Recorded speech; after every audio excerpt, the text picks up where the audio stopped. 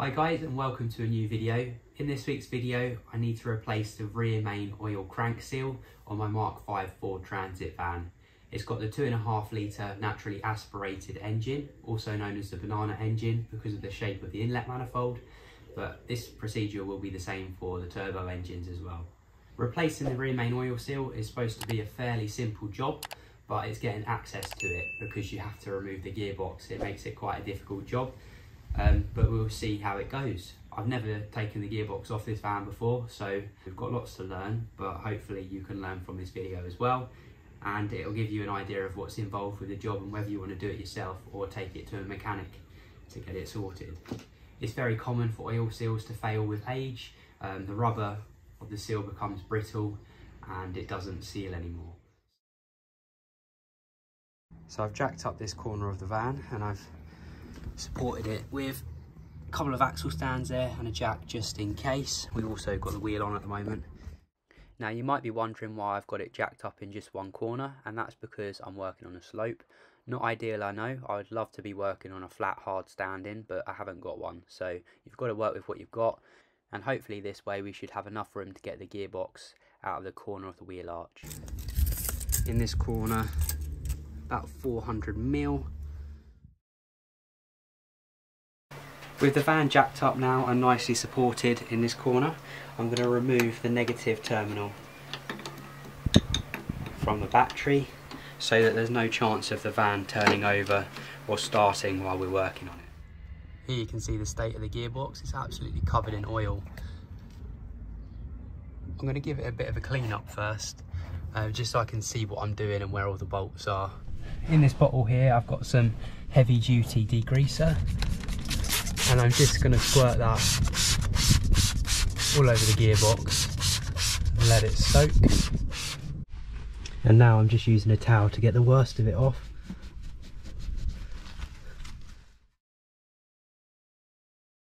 I'm going to drain the gearbox oil because that'll make it lighter and uh, it means we won't spill it everywhere.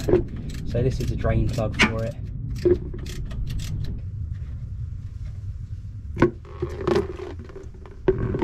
lovely and clean anyway. It wasn't that long ago that I changed it. Once you've drained out most of the gearbox oil, put the plug back in.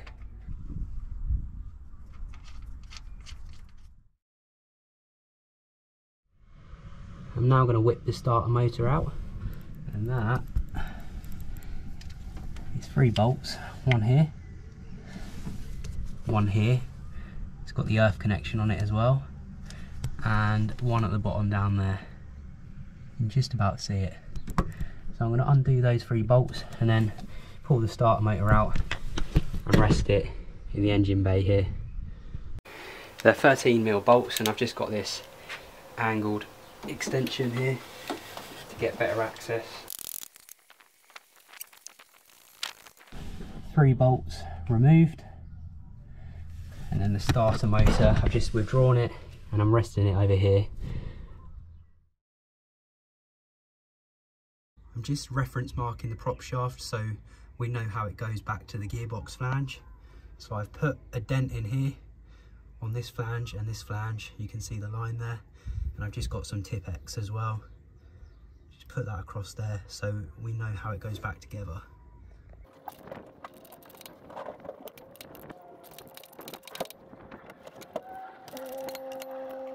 I've removed three of the bolts connecting the prop shaft to the transmission. I've just left one of them in there loosely. Just working my way back from the transmission now and I'm going to drop the prop shaft off the van.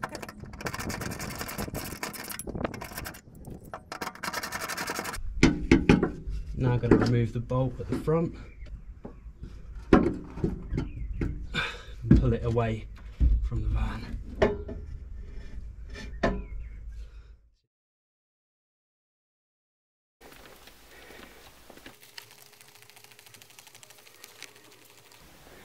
I'm going to slide the rubber boot off, put that to one side, lift this up, slide that off, and then we can see we've got three Torx bolts in here. It's a T40 Torx bit, and we're going to remove the three bolts which hold the gear stick into the top of the gearbox. I've actually put the van back in neutral and I'm now going to take the gear lever out that just keeps all the gears in line so it's in neutral. Um, I'm going to put that over there and then put something in here just to stop rubbish getting in the gearbox. Okay. To make the removal of the gearbox as easy as can be, I'm just going around and loosening off all the bolts we're going to have to remove. So that is this exhaust bracket bolt here. It's a 15mm bolt. These 13mm ones either side of this support which goes underneath the gearbox. Uh, these two here, they're 15 mil as well, I believe. Yep, they're 15 mil. Gonna loosen them off and then I'm gonna go down there and start loosening off all of the bolts around the bell housing. There are two electrical connectors to remove from the gearbox and they're both on the left hand side. One's up here and this is the reversing switch. So we can unplug that carefully like that. And the other one is over here and this is the speedo connection. So let's pop that out carefully. I'm going to tuck the wiring loom for the gearbox up by the starter motor, pull it out of the way so we don't crush it or pinch it. To disconnect the clutch cable from the fork, get some pliers and pull the cable back and then it comes out of there like that and now from the other side you can withdraw the clutch cable the next job will be to remove the gearbox, but it's a bit of a lump, probably about 50 kilograms I think. I've actually ordered a transmission jack to help with this, and that should be here tomorrow. So in the meantime, I'm gonna take the prop shaft off completely and give that some love. Same again, I'm just gonna reference mark the flange where the prop shaft bolts onto the diff. So I'm just gonna get this sharp chisel tool here and a hammer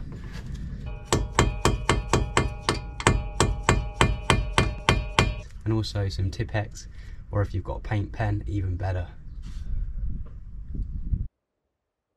Hey, check out the cat. His name must be Tipp-Ex or maybe he just likes the smell of it. Again, you might need a breaker bar. It wasn't that long ago that I had the prop shaft off anyway, so shouldn't be too tight, he says. There we go, that's one, ah, two, oh three. Make sure it's on there nicely. Ah, and four. Might need a little tap with a hammer.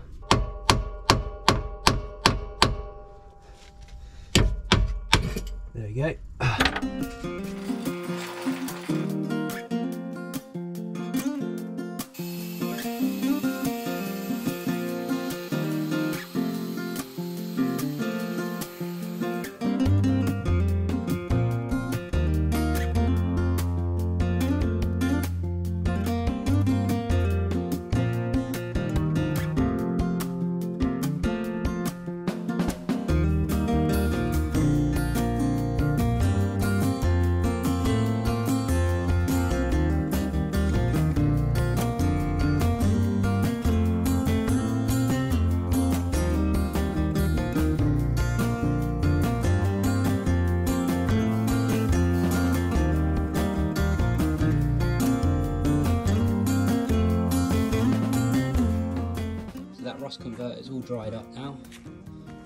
Finish it off with a nice top coat of this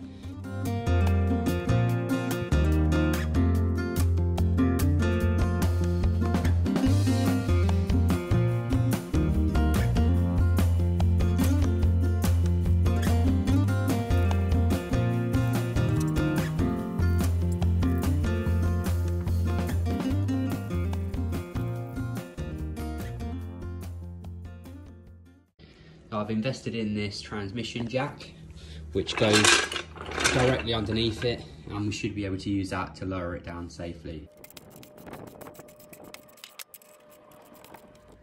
So I've got my transmission jack in a position now, supporting the bottom of the gearbox, and I put this strap around it, and it's got a ratchet on the other side.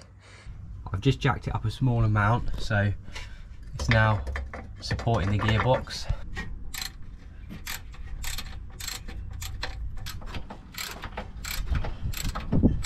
I've loosened these bolts off and you can see the gearbox is not resting on this, it's resting on our transmission jack now.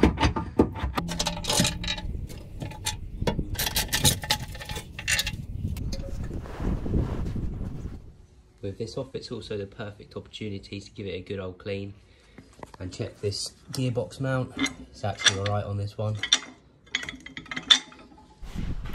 From the front of the van, there are two 8mm bolts which go through here and into the gearbox. One there and there's one this side just next to where the clutch cable goes through. So we need to remove them first. I'm now going to get my trolley jack with a block of wood underneath it just to spread the load across the oil sump.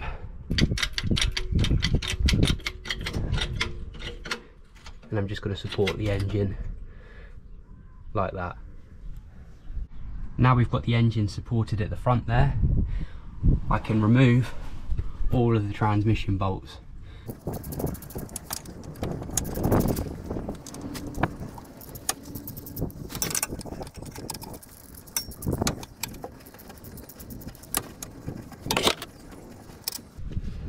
Just look at the quality of these bolts made back in a time when things were built to last.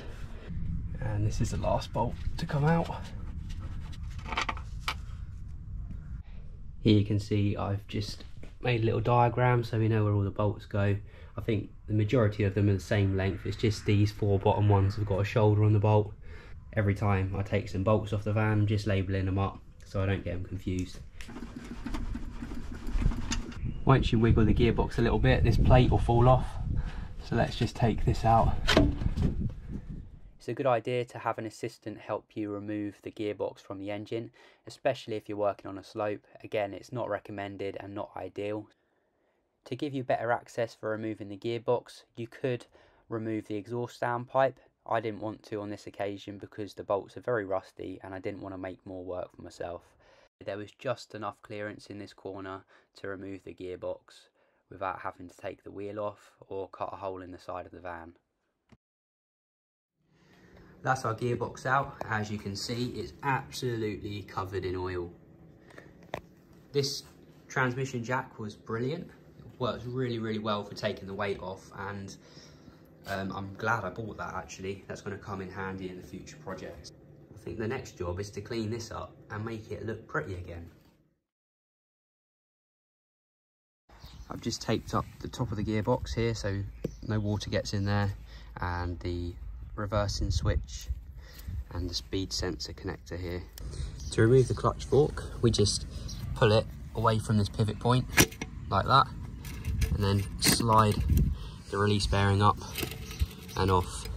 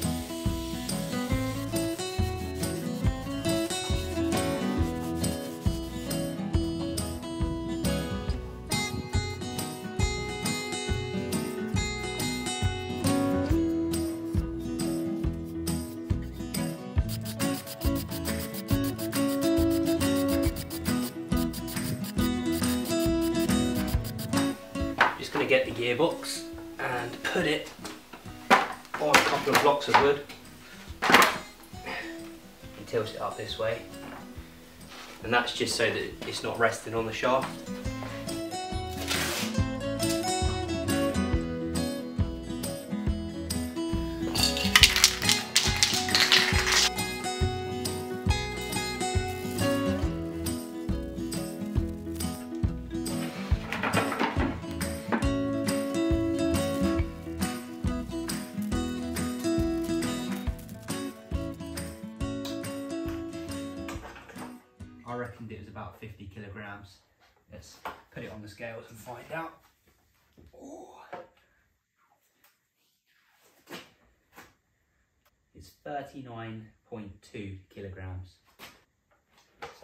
Actually as heavy as a four, but it's still pretty heavy.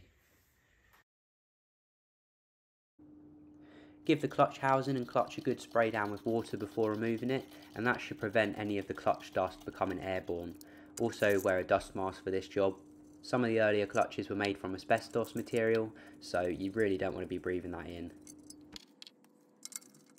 Here I'm just removing the bolts which secure the pressure plate onto the flywheel.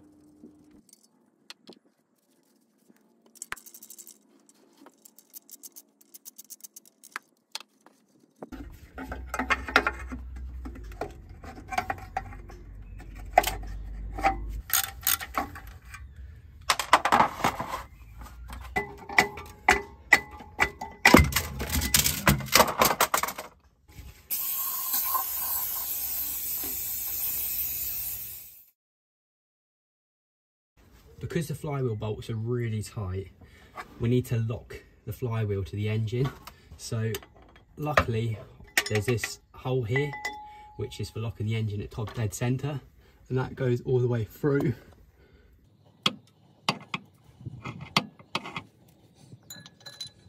Into there. So once we got it at that point we can lock the flywheel.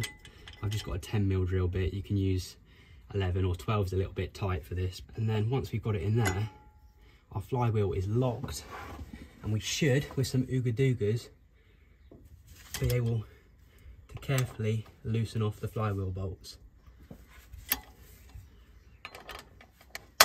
Make sure you get it nicely seated on there and then just break them off one by one. I'm going to loosen the top one take it out about halfway. I'm going to take this locking pin out. Be careful because it's heavy.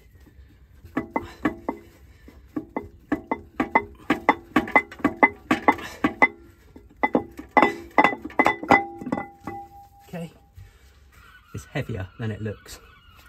So I'm actually going to do this off camera.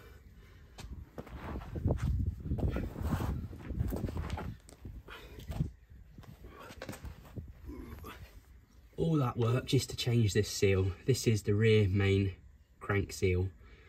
And as you can see, it's leaking pretty bad. There's oil absolutely everywhere where the oil's been picked up off the back of the flywheel and it's just sprayed out here. First job then is to give it a good clean up.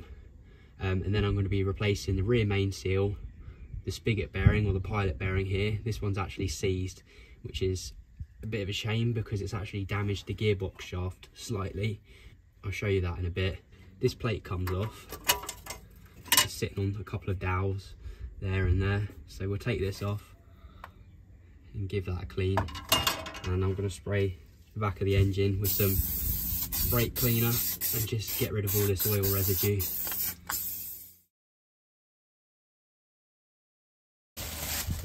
Red. Some grease. And I'm just gonna put that inside here a little bit of bread, a little bit of grease, a little bit of bread. This is the messy part, that's why I'm doing it first. A little bit of grease. And what we're doing here is trying to build up hydraulic pressure behind the bearing to push it out. So a little bit of grease, a little bit of bread, just keep stuffing it in there until it fills the hole up that's a little bit too big. I've got to go find something a little bit smaller than that. I can't find anything that fits in there perfectly, so I'm just put in some insulation tape on the end of this drill bit here to bring it out to the right size. And now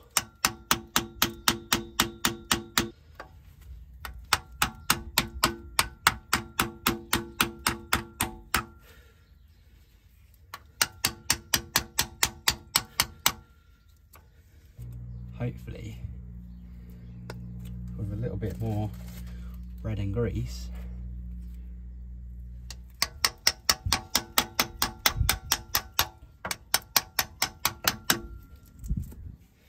And it should pop out just like that.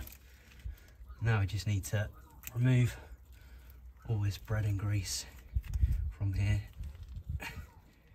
and give it a little clean out if we have a look at our gearbox input shaft, you'll see this wear mark here, and that's where the old pilot bearing had failed.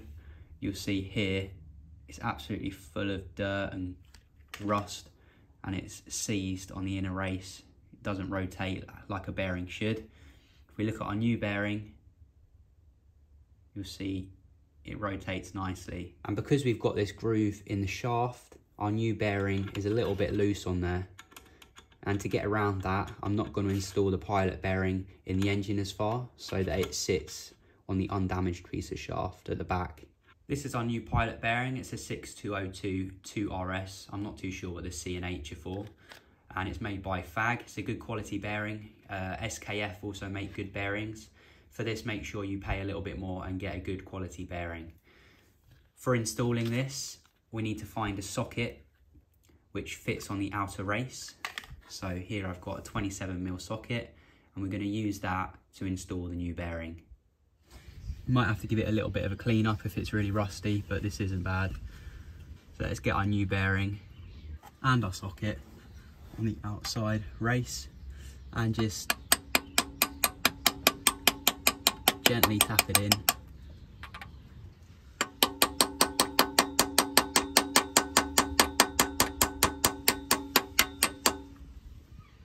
If your gearbox input shaft is undamaged, you can carry on hammering this bearing in until it bottoms out. But in my case, I'm going to leave it out a little bit so that it sits on the undamaged piece of shaft. We're also going to be replacing the oil sump gasket and putting some new oil in it. So let's drain the engine oil. It's due a service anyway. I also replaced the oil filter, that way we can get all of the oil out of the engine. It's worthwhile replacing the oil filter every time you do an oil change. Here's the new one, put a small amount of oil around the rubber seal to stop it binding up when you install it.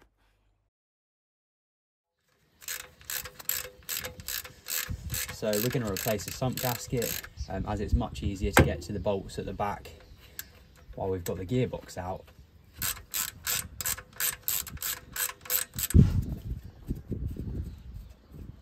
quite a few bolts, so this might take me a while.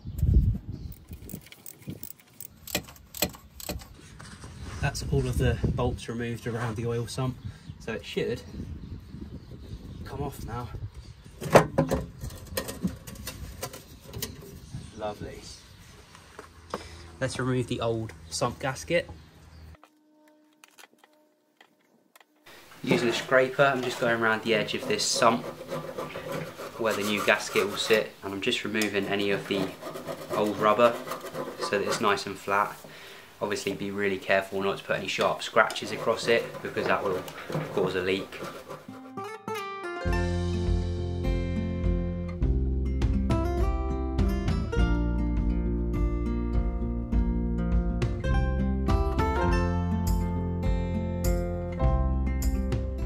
I've also lifted these tabs up so I can take this piece out just to clean underneath here.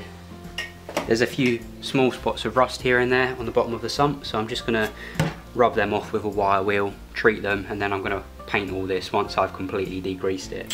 I've removed as much of the rust as possible using a wire wheel on a drill. I'm now just going to wipe it off And let's get some of our rust converter.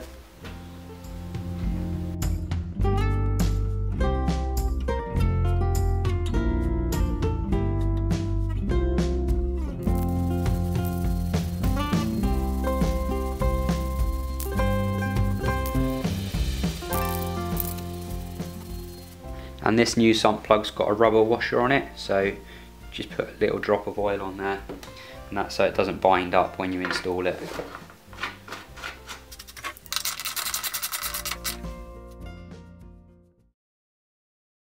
I'm going to remove the rear main seal carrier now. It's just four bolts on this engine.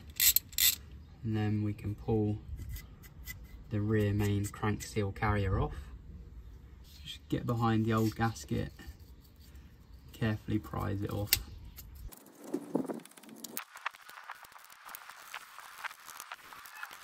I was a little bit concerned that this gasket was asbestos because it looks like asbestos material, but it does say on it, non-asbestos. So we are safe. To clean this off and prepare it for the new seal, I'm just gonna use a bit of brake cleaner and the abrasive side of a sponge to clean this off. Less aggressive than the scraper. We've got less chance of gouging the steel and causing a leak and also round the outside of the crankshaft.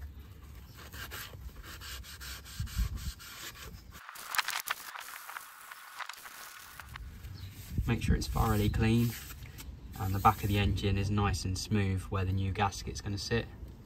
So to remove the old seal, grab yourself a couple of blocks of wood and put the seal carrier onto the blocks of wood and then get a drift or a punch and then we want to punch the seal out from the back of the carrier.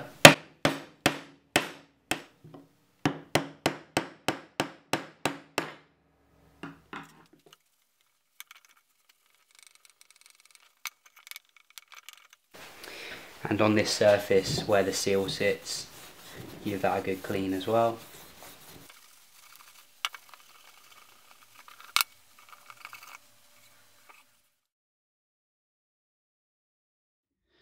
I was unable to find a new gasket for the oil seal carrier, so we need to make our own one. And for that, I've got some oil resistant gasket paper. I'll put a link in the description to some of this paper if you need to make a gasket yourself. So all we do is get the seal carrier, let's put it on the gasket paper and draw around it.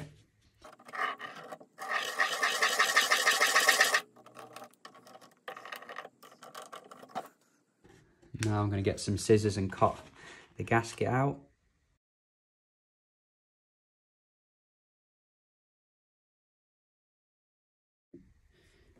Now with some greaseproof paper and a pencil, we can see where the old gasket used to go.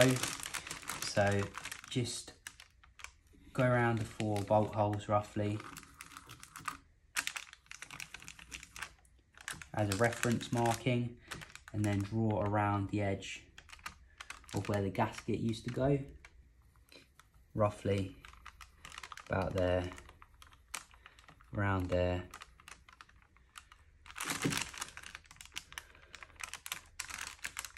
Used to go up there and around there. Now flip it over. Put your bolt holes where they need to be. and then draw around it to push the lead onto the gasket. There we go. And finally, you've just got to cut out where the bolts go through. And that is how you quickly make a new gasket.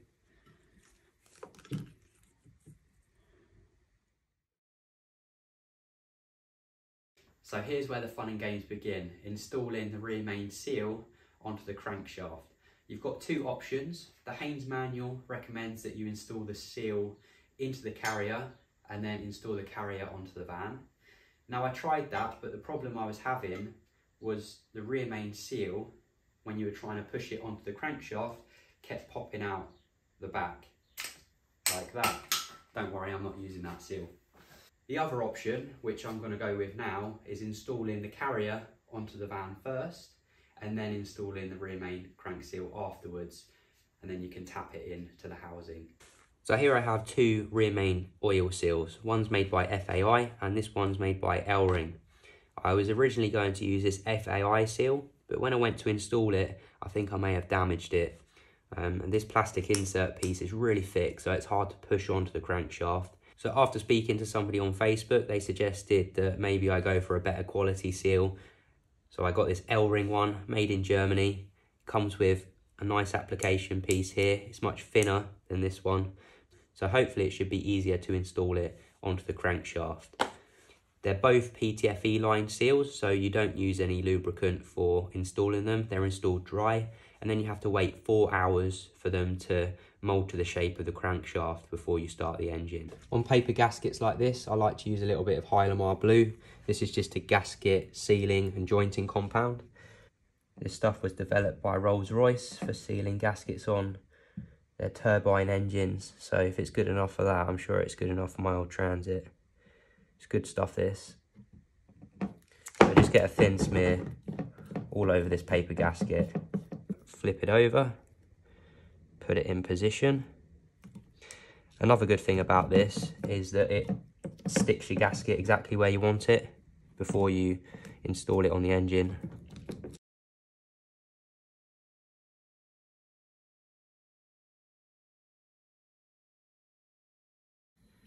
Just get a bit of solvent to clean off the metal plate.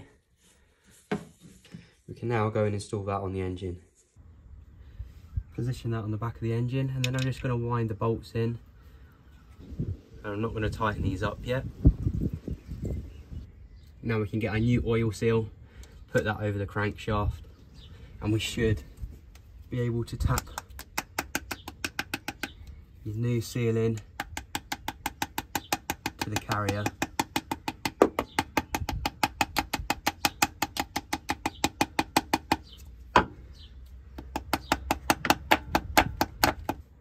Now you don't want to damage a new seal, so if you use the old one, you can put that over the top and hit on that one.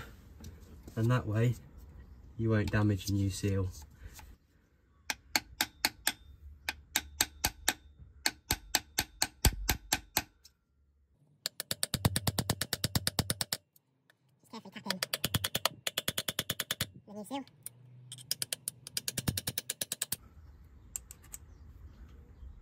It's almost in.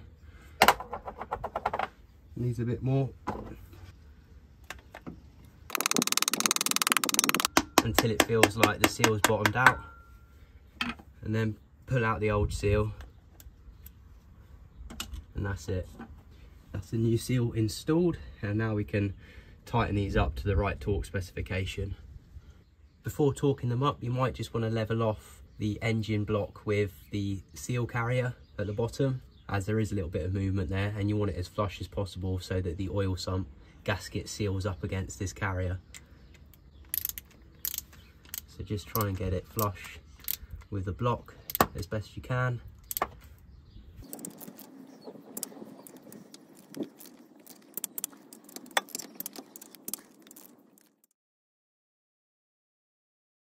It's a little bit corroded here where the gasket sits, so I'm just going to scrape this so it's nice and flat.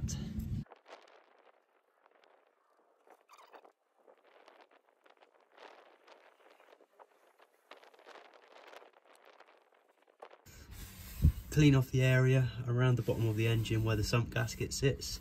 Make sure it's nice and smooth. Before installing the new oil sump gasket, there are four areas which you need to apply a gasket sealant or an RTV.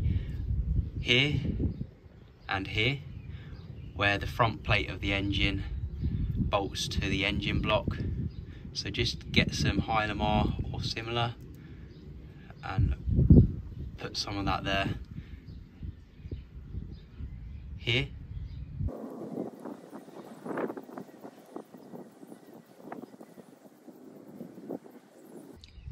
because this edge isn't quite flush with this one you're just bridging the gap so that it's a nice smooth surface for the new gasket. Here, where the seal carrier bolts to the back of the engine. And across here. And it should feel flush with your finger. Before installing your sump with a gasket. Just give this oil pickup a quick spray off. There's two different types of sump gasket you can get. This is a cork type and this is the rubber type I'm going to be using. I prefer the rubber types because with the cork ones you can quite easily over tighten it um, and split the gasket so I'm going for a rubber one. It's got these tabs on it here. Lace it over the corners of the sump. Just going to reapply a little drop of thread locker on there.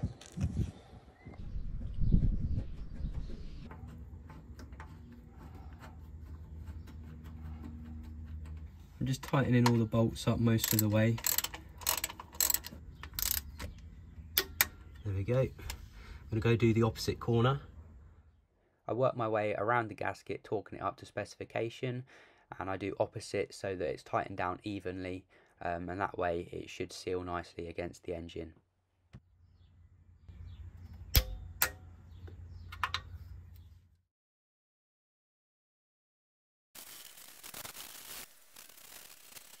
The flywheel's in pretty good condition anyway and this surface feels really smooth so I'm just going to give it a quick flick over with some wet and dry. We've got some 600 grit wet and dry here just on this surface. So put some water on there and I want to keep it flat. So let's get a block.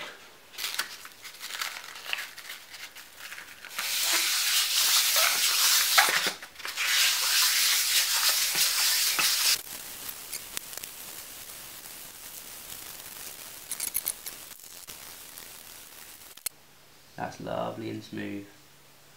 Obviously, if you've got the funds and you know somebody that can machine it up for you, take it to get it skimmed. But in this case, I think this is going to work just fine. Just put some RTV around this cover here, just in case. I'm gonna again just get some RTV and seal around the edge. It can't hurt to put a little bit around here. I made a very silly mistake and installed the flywheel before the backing plate. Now don't forget to install the backing plate first if you can learn anything from this video. The flywheel bolts have a two-stage tightening sequence. Stage one is 18 to 23 newton meters and stage two is 25 to 30 degrees. The fact that it's got a torque angle specification implies that they're stretch bolts, so they should only be used once.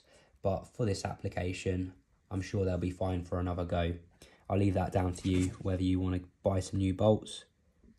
To prepare these bolts ready to go on the van, I'm just putting a small amount of grease around the shoulder of the bolt. Being very careful not to get any on the threads. And that's just so that we get an accurate uh, torque reading when we come to torque them up. So just put a small amount here so that you reduce the friction when you torque them up. And then I'm going to get my medium strength thread locker. We don't want these coming loose when we're driving, that's for sure.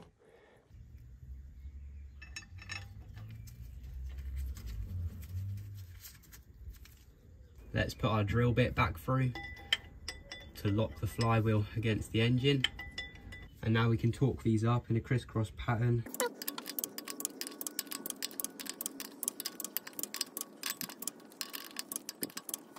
So to torque these down to the right angle specification, 25 to 30 degrees, I'm just going to put a line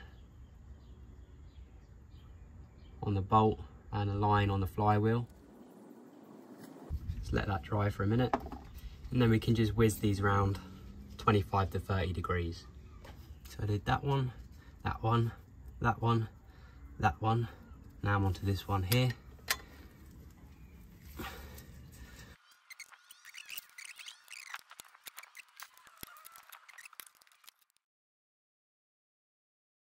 Here we have our new clutch and pressure plate. The first thing you want to do is just clean off this surface of the pressure plate with a bit of brake cleaner to remove any grease on there. It comes with a grease on it to stop it going rusty. And then we want to align the clutch and pressure plate ready to go on the van. And for that, I've got this clutch alignment tool and I'll show you how to use that. The clutch itself has a raised side and a flat side. The raised side goes inside the pressure plate that way. Some clutches have it written on which side's the transmission side and which side is the flywheel side. The clutch alignment tool comes with three plastic inserts, so you want to use the one which is best suited to your clutch. And in my case, it's this one because it fits in there nicely. And when this pin goes in the end, it will open up and grip on to the clutch like that. So let's use that one. We put that in there. This pin goes through. And then this back nut goes on top. Let's get our clutch and pressure plate, flip it over.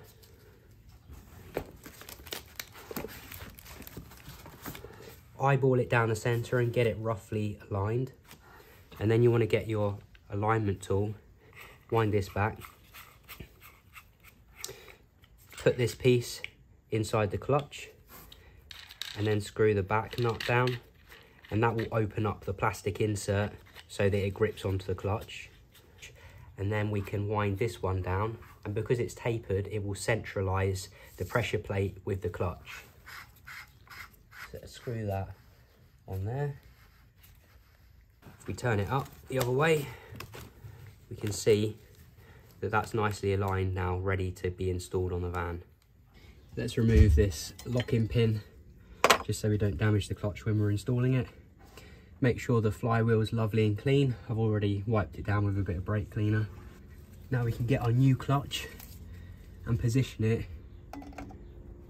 on the dowel here. That looks right to me now i'm going to install the six pressure plate bolts and I'm going to torque the pressure plate to the flywheel at 30 newton meters.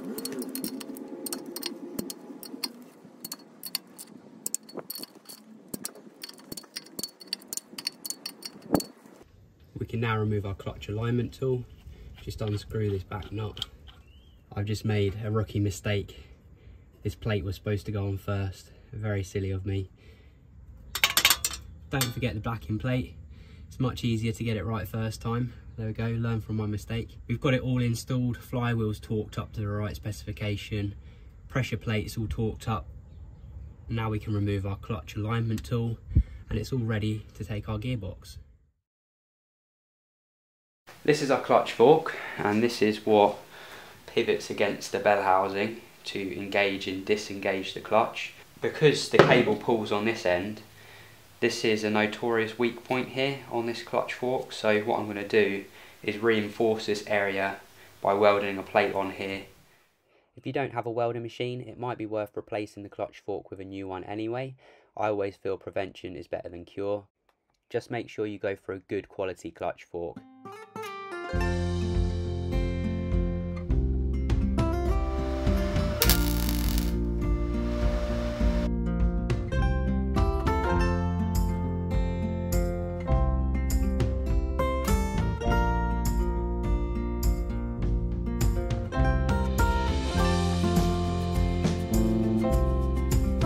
Go, it's a little bit crude looking, but it's much stronger.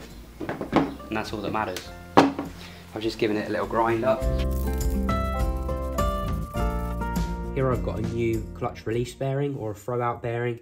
This came in the three piece clutch kit and I've got some copper grease. I'm just going to put that on the sliding points of the release bearing.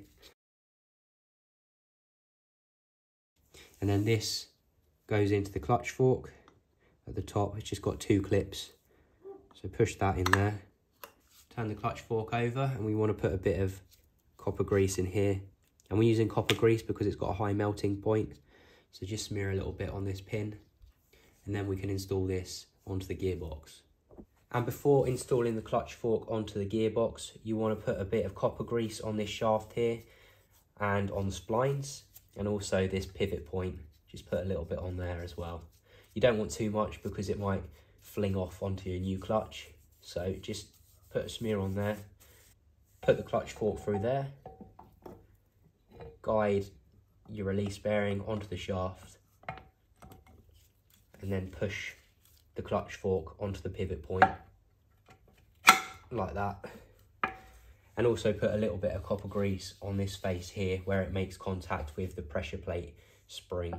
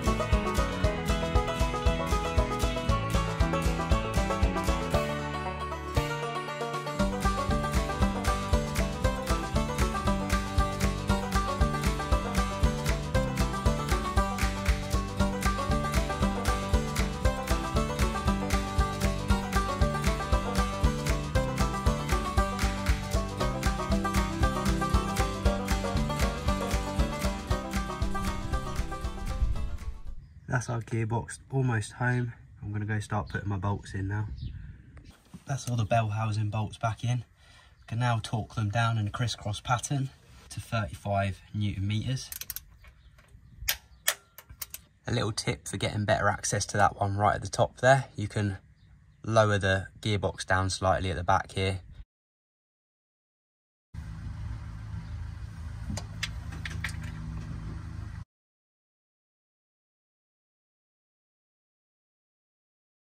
Just to give you a brief summary of everything we have to reinstall, I start with the gearbox cross member. And we torque this gearbox cross member up to 50 newton meters. And these two nuts here are also 50 newton meters. We can get the transmission jack out the way now, we don't need that anymore. Tighten up the exhaust bracket we can then reinstall the starter motor. Make sure you don't forget to connect the earth cable. Reconnect your electrical connectors, one to the reversing switch and one to the speed sensor. You can then install the clutch cable. Just put it through the bell housing and then using some pliers, pull the cable and insert it into the fork. There's only a few parts left. We can reinstall the prop shaft starting at the differential end because we still need to line up the prop shaft with the gearbox flange. As we've had the gearbox off, it won't be in line anymore. I fill the gearbox up from the top. First of all, I just flush it through to make sure there's no water or dirt inside the gearbox. As you can see here, it's nice and clean. I refit the drain plug and then fill it up with 1.25 litres of MT75 gearbox oil.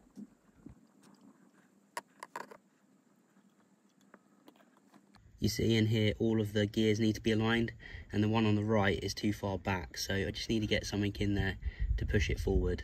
It was just a case of sort of putting the gear stick in um, and trying to get the selectors all lined up but that's in neutral now. So we can put our three Torx bolts back in. I couldn't find a torque specification in the Haynes manual for these three Torx bolts so I'm just nipping them up. Perfect. If you haven't already extended the gear stick, it makes a big difference to the driving position and made a separate video about that if you want to check it out. So to line this prop shaft flange up with the gearbox flange, I'm just going to go and turn the engine over by hand, put it in gear, turn it over by hand and then we can position it in line with our reference mark on there.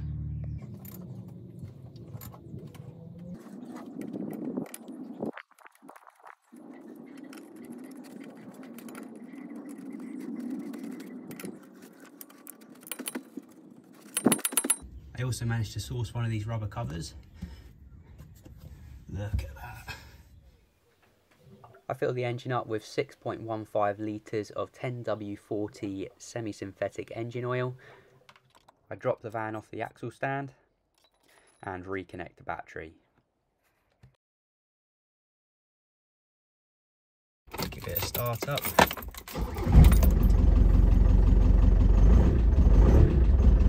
Right, I found it wasn't quite going into gear. It was kind of just making a graunchy noise. But now it's going in gear. It's a little bit tricky still to get it in gear. I want it to be smoother than that. So I'm just going to tighten the clutch cable a little bit. And for that, you just need a 10mm spanner. You go to the clutch pedal, and you can see I've already tightened it up quite a bit. It's got a new clutch in there, so tighten that up a little bit. All that's left for me to do is take it for a little test drive and make sure all the gears are nice and smooth. We want to wear the clutch in gently. Obviously don't take it racing or off-roading. Second.